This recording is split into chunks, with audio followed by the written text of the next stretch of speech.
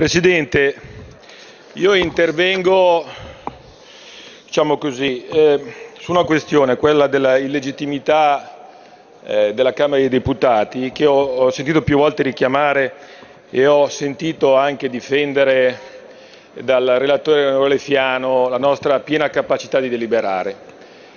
E eh, vorrei dire quello che penso.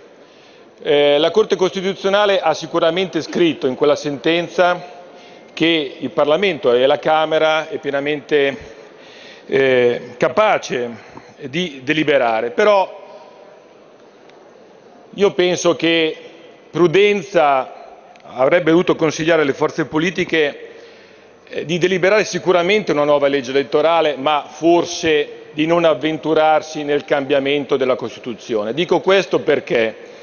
Perché c'è una circostanza onorevole Fiano, l'altro giorno io l'ho interrotta e me ne scuso, su cui bisognerebbe in qualche modo approfondire la situazione. La Corte Costituzionale dice che si è perfezionata diciamo così, la Costituzione della Camera nel momento della proclamazione degli eletti.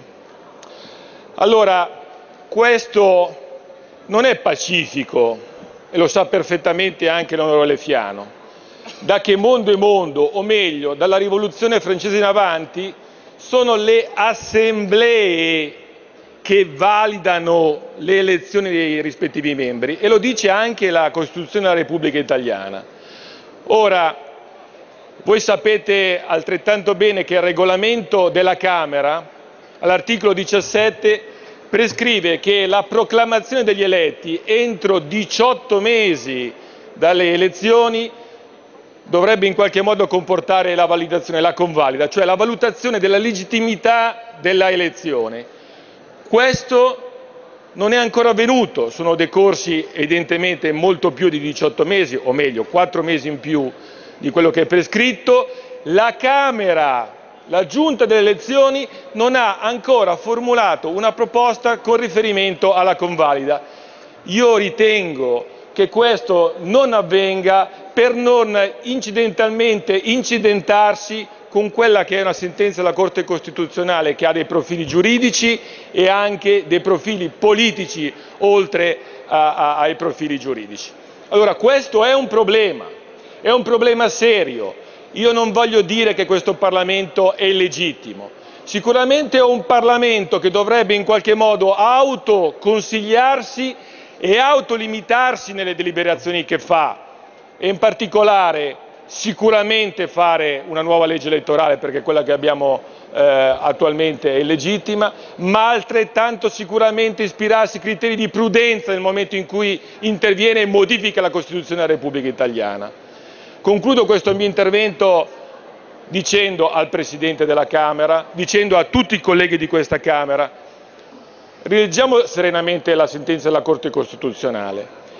Valutiamo e diamo una risposta anche a questo problema che illustri costituzionalisti, ricordo un articolo di eh, Zagrebelsky sul Fatto Quotidiano di qualche giorno fa, il problema delle convalide io credo che sia un problema serio. Il Senato l'ha risolto convalidando prima della sentenza della Corte Costituzionale, noi non l'abbiamo fatto, noi siamo in pendenza in pendenza di una situazione legittima o illegittima. Sta a noi deciderlo, ma deciderlo con una decisione che la Costituzione rimette a noi e non ad altri e non a uffici elettorali o qualcun altro che ha fatto le proclamazioni.